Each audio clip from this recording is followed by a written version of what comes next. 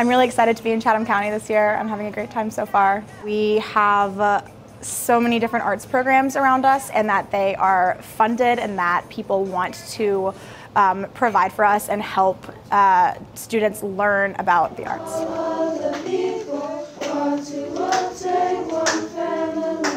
My first year teaching at JM has been a lot of fun so far.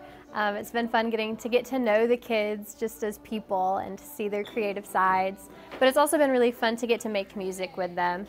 A lot of these kids in my classes have not been in a traditional choral class before, but in the first three weeks I've already seen drastic improvement and they're learning to read music independently, which is really awesome to see.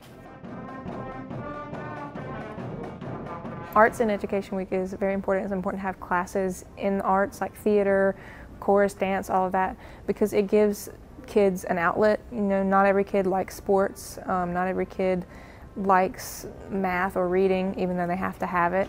But I think it's just another thing for them to be able to do and find their group of people that they want to be with and the things that they like to do.